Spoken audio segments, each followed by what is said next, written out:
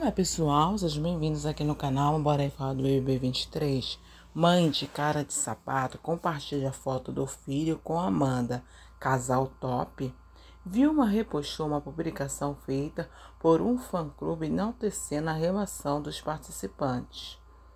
Parece que temos uma fã número um do casal, né? Amanda e cara de sapato a mãe do lutador de MMA já deixou claro que torce para que o filho e a médica fiquem juntos dentro da casa.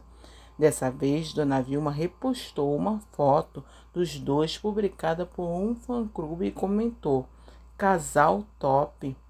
Desde o início do BBB 23, a relação entre os dois causa uma comoção em parte do público, que torce para Amanda e Cara de Sapato formem um casal no jogo.